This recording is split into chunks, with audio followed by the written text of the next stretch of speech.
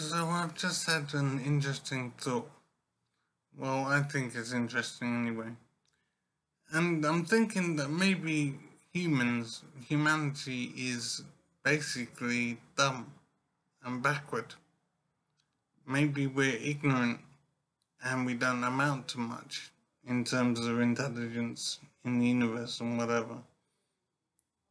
So I'm wondering if aliens are not dealing with us, communicating with us, for the same reason that we don't try and communicate with an anthill or a bee's nest.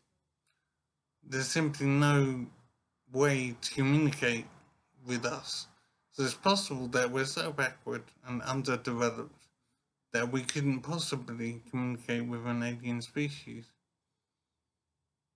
So we could be really low down the scale of intelligence and achievement in the world, in the universe.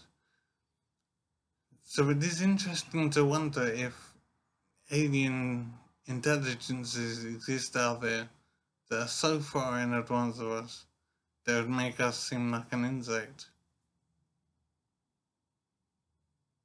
So I'm wondering if that's the case, and the universe is supposedly infinite, and I suppose it's existed forever.